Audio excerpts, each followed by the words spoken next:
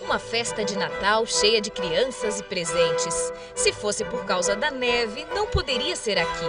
Mas um bailarino russo decidiu vir de um dos países mais gelados do mundo até o Brasil, recontar o espetáculo Quebra-Nozes pelos passos dos jovens dançarinos da Escola do Teatro Bolshoi.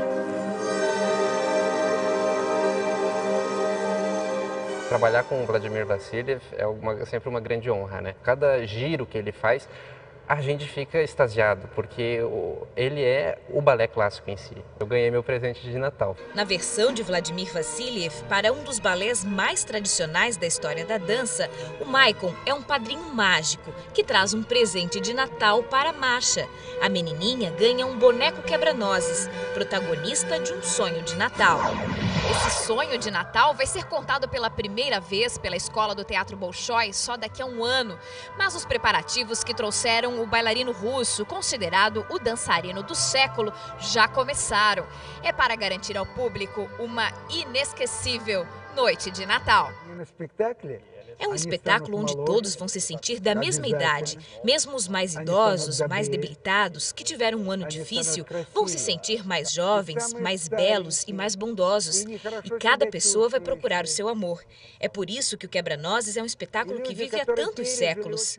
Pela primeira vez, o veterano dançarino de 73 anos, considerado o deus da dança, antecipou a expectativa para um espetáculo. Nunca na minha vida falei antes de um acontecimento que é para se esperar. E eu estou um pouco preocupado agora, porque eu gostaria que as minhas palavras combinassem com o resultado. Ao longo da carreira, Vasiliev já interpretou quase todos os personagens de Quebra-Nozes, alguns quando ainda era criança e tinha a idade da Maria Eduarda. Eu acho bem legal o papel que eu vou fazer. Que, tipo, ela ganha uma boneca no Natal que ela dorme. E ela sonha que tá passeando por vários lugares, assim se sentir bem, tipo, feliz. A bailarina de apenas 10 anos de idade está no elenco composto por 100 alunos e professores do Teatro Bolshoi no Brasil, que terá todo o ano de 2014 para chegar à perfeição.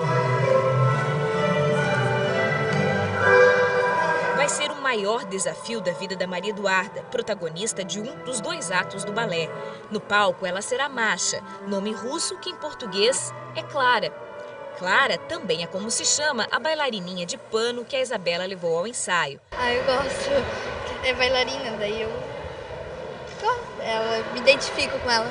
A boneca foi um presente do avô que estará com a bailarina no espetáculo de Natal do ano que vem.